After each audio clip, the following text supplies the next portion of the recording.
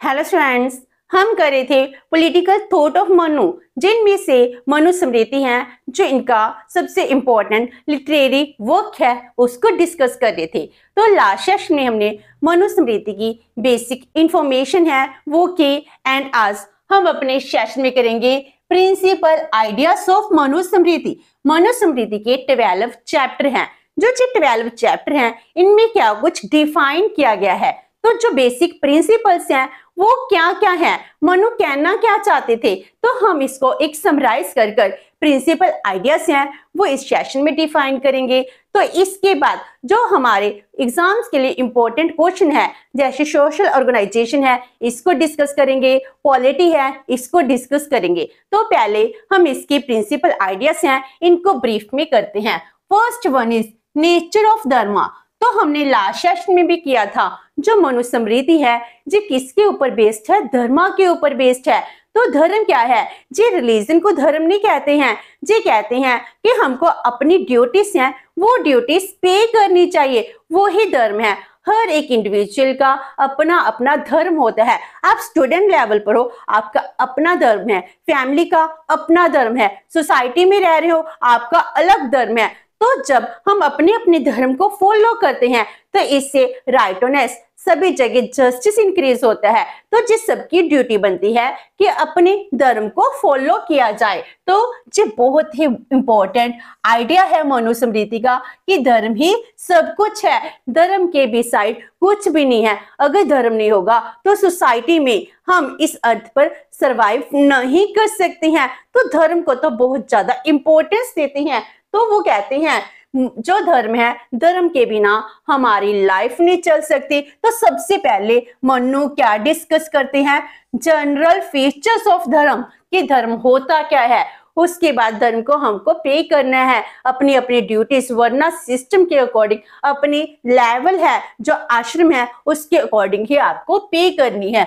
Manu has discussed and described the duties of various person under various circumstances meaning अगर circumstances situation change होती है तो आपकी कौन सी ड्यूटी बनती है, इसको भी मनु ने डिफाइन किया है। तो मनु ने धर्म के ऊपर बहुत ज़्यादा लेंथ में डिटेल डिस्कशन की है। उसके बाद सेकंड आता है सोशल ऑर्गेनाइजेशन जिसको हम वर्ना सिस्टम कहते हैं। जो मनुस्मृति का सबसे कंट्रोवर्शियल टॉपिक बन जाता है। तो वर्णा सिस्टम क्या है? वैसे तो अगर हम वर्णा सिस्टम की बात करते हैं, जो मनुस्मृति में वर्ण डिफाइन किया गया है, वर्ण का मीनिंग होता है अकॉर्डिंग टू योर ऑक्यूपेशन काम को वो वर्ण सिस्टम कहते हैं। लेकिन टाइम के साथ वर्ना सिस्टम को हमने कास्ट सिस्टम में कन्वर्ट कर दिया। अदरवाइज़ वर्ना का मीनिंग क्या था? कि जो पर्सन है, जो जो काम करता है, उसके अकॉर्डिंग वो डिफरेंट डिफरेंट वर्ड्स में डिवाइड होता है। तो ये कहते हैं, जो वर्ना सिस्टम है, ये describe a code of social conduct तो सोशल कंडक्ट इसके अकॉर्डिंग ही चलता है।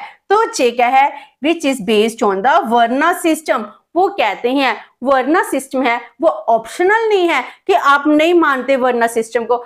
आप जब सोसाइटी में रह रहे हो वर्ना सिस्टम को एक्सेप्ट करना ही पड़ेगा जो आपके ऑब्लिगेशन बन जाती है। तो उस टाइम उन्होंने ब्राह्मण, क्षत्रिय, वैश्य एंड शुद्रा चार वर्ण्स हैं, इनमें पूरी सोसाइटी को डिवाइड किया है। जिसको पढ़ने का शौक है, जो लर्न पर्सन है, वो ब्राह्मण बन जाएगा। एंड क्षत्रिय क्या है? जिसकी भुजाओं में बल है, जो लड़ने के हमेशा तैयार रहता है, अपनी कंट्री को प्रोटेक्ट कर पाएगा। वो क्षत्रिय में आ जाता है, वैश्य। जो ट्रेड करने में इंटरेस्टेड होता है और जो इन तीनों में किसी भी काम में इंटरेस्टेड नहीं है, वो इनकी सेवा करते हैं, वो शुद्र कहलाता है। इस तरह उन्होंने वर्नर सिस्टम ऑक्यूपेशन के अकॉर्डिंग ही बताया था कि जो चार वर्न्स हैं, इनमें से वो सबसे ज़्यादा इंपॉर्टेंस किसको देते हैं? लर्न पर्सन को, ब्राह्मण को। वो कहते हैं, ब्राह्मण ही इस सोसाइटी में अवेयरनेस है इनलाइटमेंट है, वो इंक्रीज करते हैं।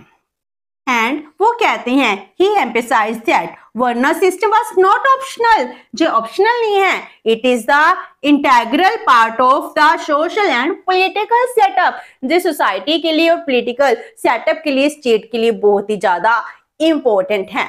Number third concept of the four ashram अब हम एक इंडिविजुअल की बात कर रहे हैं. तो ये कहते हैं कि हर एक पर्सन के लाइफ के चार आश्रम होते हैं। तो जो जो आश्रम है, इसके अकॉर्डिंग हमको काम करना चाहिए। तो आश्रम का मीनिंग क्या है? Ashram refers to the division of a person life एक पर्सन की लाइफ को हमने डिफरेंट डिफरेंट फोर पार्ट्स में डिवाइड कर दिया। Devoted to a particular pursuit of a life meaning आपके चार पार्ट कर दिए और बताया गया कि आपके जो चार आश्रम हैं। इन आश्रम में आपको कौन कौन सी ड्यूटीज़ हैं वो पे करनी है। तो सबसे पहला आश्रम क्या होता है? ब्रह्मचार्य आश्रम। जब हम बर्थ लेते हैं बर्थ से लेकर पहले 25 इयर्स हैं, ब्रह्मचार्य आश्रम होता है। जैसे आप स्टूडेंट हो स्टूडेंटशिप है, जी किसमें आती है? ब्रह्मचार्य आश्रम में आती है, जिसमें हम अपनी नॉलेज को एक्सपेंड करते हैं फिजिकली एंड मेंटली अपनी नॉलेज को इंक्रीज कर रहे हैं ब्रह्मचार्य आश्रम। उसके बाद गृहस्थ आश्रम, जिसमें हमारी मैरिज होती है, बच्चे होते हैं प्रोडक्टिव इस मानी जाती है। तो गृहस्थी आश्रम माना जाता है। उसके बाद वानप्रस्थ मीनिंग अब आपको वन में जाना है। गृहस्थी से मोमाया छोड़कर आपको इनसे चीज़ों को वन में जाने के लिए तैयारी करनी है। आपको मोमाया को छोड़ना है। उसके बाद संन्यास आता है, जिसमें आपको सेल्वेशन परमात्मा को प्राप्ति करने के लिए तप करना है। तो हमारी लाइफ के जो चार आश्रम है, इसको उन्होंने डिवीज़न की है। उसके बाद फोर्थ कॉन्सेप्ट आता है basic property of the nature of things जय कहते हैं कि सोसाइटी में जो भी पर्सन हैं थिंग्स हैं, इनकी बेसिक प्रॉपर्टी क्या है? उनके गुण हैं। तो थ्री टाइप्स के गुण हैं, उन्होंने डिफाइन किए गए हैं। गुण क्या है? It represent the level of virtue meaning आप में कौन सी गुण है? गुण हिंदी वाला, जिसको हम इंग्लिश में वर्च्यू कहते हैं। मीनिंग आपकी क्वालिटीज तो आपकी क्वालिटीज भी होनी चाहिए। तो जो आपकी क्वालिटीज हैं, वो भी थ्री टाइप्स की होती हैं। जो पर्सन को सुपीरियर बनाती हैं और इंफीरियर बनाती हैं। तो जे गुण्स हैं, जे inherent quality of the person होती है। जे आपको सोशल ऑर्गेनाइजेशन से नहीं मिलती है। तो हो सकता है जो ब्राह्मण है, उसमें सबसे लो लेवल के गुण हो, और हो सकता है जो शुद्र हो, उसमें हाई लेवल के गुण हो। तो जो गुण है थ्री टाइप्स के गुण है, वो डिफाइन किए हैं। सातव, राजस एंड तामस। सत्तव और सात्विक गुण है, इसको टॉप लेवल के गुण बताए गए हैं। तो इस गुण में हम क्या करते हैं, हम पूरी तरह से पीस हार्मोनियस लवशिप है, इसको इंक्रीज करते हैं। पूरी तरह पीस क्रिएट होती है। राजस मिडिल लेवल के गुण बताए गए हैं, जिसमें हम सेल्फिश हो सकते हैं। तामस में, जिसे हम चंडाल के काम कहते हैं तो वो गुण तामस में होते हैं। तो जे कहते हैं तो जो गुण है, हर एक पर्सन की अपनी इनहेरेंट क्वालिटी होती है। तो वो थ्री गुण्स को भी डिफाइन करते हैं। After that institution of marriage वो कहते हैं सोशल ऑर्गेनाइजेशन में मैरिज सिस्टम है, जो बहुत ही इम्पोर्टेंट है। मोनू ने तो मैरिज को डिटेल में डिस्कस किया है तो उन्होंने ये भी बताया है कि मैरिज की राइट एज कौन सी होनी चाहिए। वो कहते हैं, जैसे ब्रह्मचार्य आश्रम है, जिसमें आप क्या हो स्टूडेंट हो। स्टूडेंटशिप खत्म होने के बाद क्या करते हो, आप ग्रस्त आश्रम में जाते हो। यही क्या है, आपकी मैरिज की एज सही मानी जाती है। तो मैरिज में उन्होंने एट टाइप्स की मैरिज को डिफाइन किया है। तो वहाँ पर वर्ना सिस्टम भी था। वो कहते हैं, अगर हमारी मैरिज इक्वल वर्ना में होती है, जो सबसे बेस्ट माना जाता है, लेकिन इक्वल वर्ना में नहीं होती है तो वो उसको प्रिहिप्टेड करते हैं। तो वो एट टाइप्स की मैरिज हैं। इसको डिफाइन करते हैं। हस्बैंड की वाइफ की क्या ड्यूटीज़ है, वो डिफाइन करते हैं। हर एक चीज़ को एस्पेक्ट को पूरी डिटेल से डिफाइन करते हैं। तो इंस्टीट्यूशन ऑफ़ मैरिज है, जो हमारा बेसिक एक प्रॉपर्टी बन जाती है, अगर हम पूरी सोसाइटी को रन करना चाहते हैं। इसको डिफाइन किया है।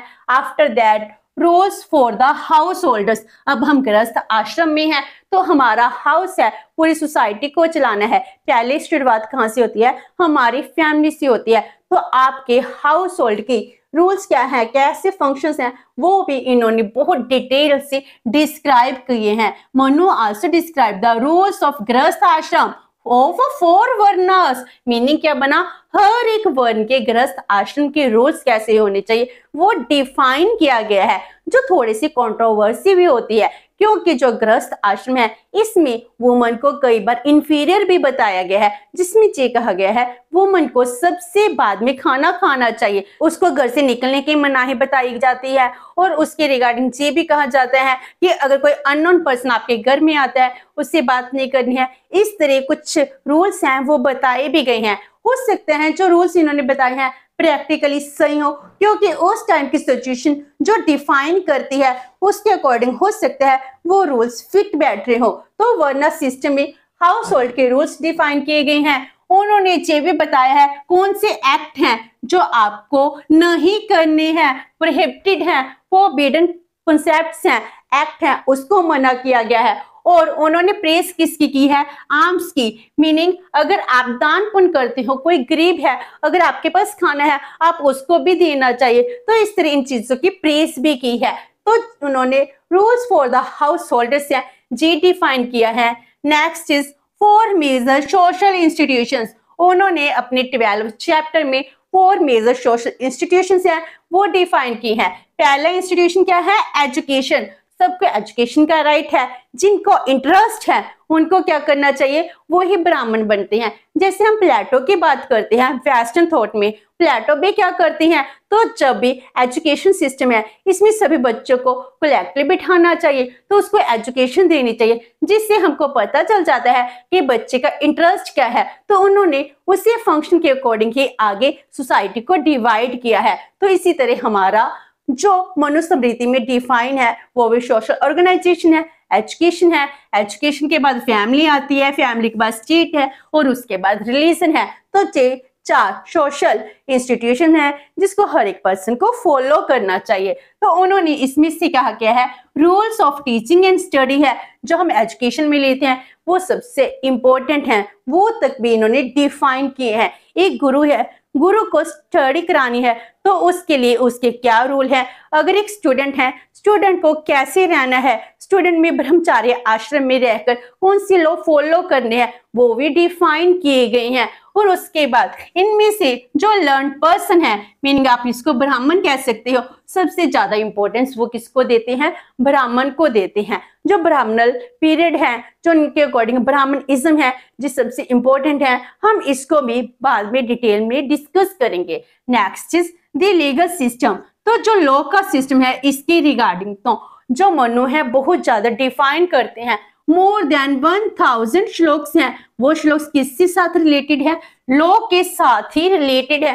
तो मनु ने बहुत ज़्यादा श्लोक्स हैं। लोग में दिए हैं। तो मनु क्या एम्पेसाइज करते हैं? नीड फॉर फेयर जस्टिस कहते सोसाइटी में फेयर जस्टिस होनी चाहिए। जो भी नीडी है, उनको चेपर एंड क्विकली न्याय मिलना चाहिए। तो न्याय को बहुत इंपॉर्टेंस देते हैं। इवन की जो क्राइम पनिशमेंट है, इसका कोड ऑफ़ पनिशमेंट डिफाइन करते हैं। वो ये भी कहते हैं डिफरेंट डिफरेंट पर्सन को डिफरेंट डिफरेंट पनिशमेंट दी जाए। जो आगे कंट्रोवर्सी का कोज बन जाती है। Manu provide for different punishment for different varnas for the same crime अगर सेम क्राइम वर्ण सिस्टम में अगर किसी शूद्र ने किया है, उसको ज़्यादा पनिशमेंट दी जाती थी, एक ब्राह्मण ने किया है, उसको कम पनिशमेंट दी जाती थी।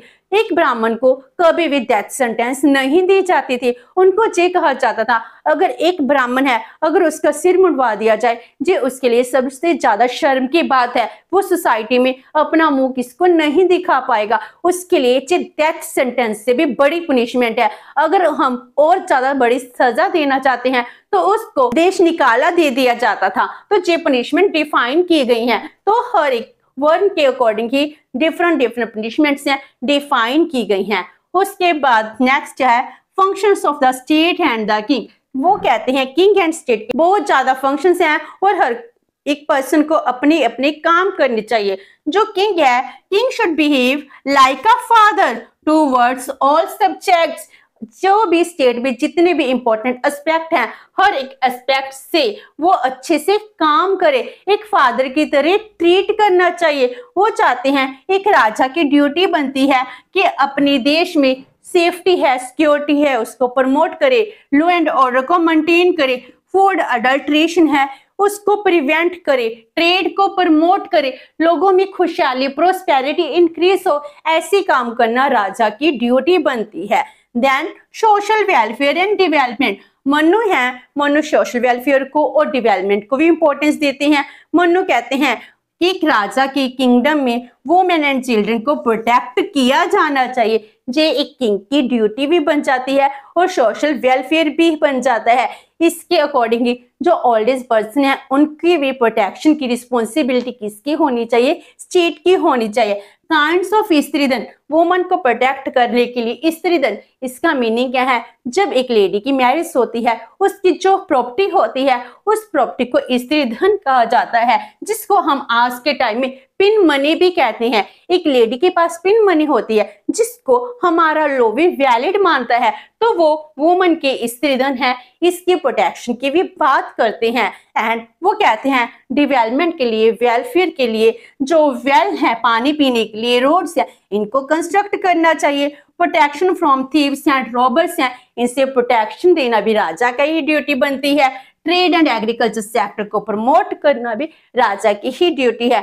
सोशल वेलफेयर एंड प्रोस्पेरिटी के लिए काम करने चाहिए। और उसके बाद रूल्स ऑफ़ पैनिटेनियस तो पैनिटेनियस का मीनिंग क्या हो गया? मीनिंग अगर आपने कोई क्राइम किया है, उसके बाद आपको पछतावा है पेनिटेंस है, उसके रूल भी बताए गए हैं। जैसे हमको जब हम गुस्से में होते हैं या फिर हमें नहीं पता, पूरी तरह हम समझ नहीं होती है, ना समझ में हम बहुत ज़्यादा गलतियाँ कर जाते हैं। लेकिन हो सकता है, लेटर एज में कुछ सालों बाद आपको अपनी गलती का पछतावा हो। तो पछतावा के जो रूल्स हैं, वो भी उन्होंने डिफाइन किए गए हैं। डिस्क्रिप्शन ऑफ़ वाइसिस आपके क्या क्या अवगुण हैं और उसके लिए आपको कैसी पछतावा है, पछतावे के रूल क्या हैं पेनिटिस कैसी मिल सकती है, वो डिफाइन किया गया है। Penalties for animal slaughtering and destruction of vegetation meaning अगर हम एनिमल्स को मारते हैं, जो किसी के फार्म में वेजिटेबल लगी हुई हैं, उनके जो फल, सब्ज़ियाँ, अनाज हैं, उनको डिस्ट्रक्ट करते हैं, उसके बाद आपको पछतावा होता है। पेनिटेंस है, उसके रूल्स डिफाइन किए गए हैं। दी पेनिटिस फॉर डिबोचरी मीनिंग अगर आप कुछ गलत काम कर रहे हो थेफ्ट कर रहे हो चाहे लेडी के साथ वुमन रेप कर रहे हो, इसके रिगार्डिंग भी आपको पनिशमेंट आपको खुद ही पछतावा है। इसके रूल्स भी डिफाइन किए गए हैं। तो इस तरह मोनू ने सोशल लाइफ के हर एक एस्पेक्ट को डील किया है। पॉलिटिकल सोसाइटी को उन्होंने डिस्कस किया है तो इस तरह मनु के जो कॉन्सेप्ट हैं, बहुत ही ज़्यादा वास्ट बन जाते हैं। तो आज हमने इस सेशन में उनके बेसिक प्रिंसिपल्स को डिस्कस किया। नेक्स्ट सेशन में हम सोशल ऑर्गेनाइजेशन जिसको हम वर्ना सिस्टम कहते हैं, वो डिस्कस करेंगे। होप सो कि आपको ये सेशन अच्छा लगा होगा। अगर आपकी कोई क्वेरी है तो post comment box and video अच्छी लगी तो please like and share with your friends thank you so much and have a nice day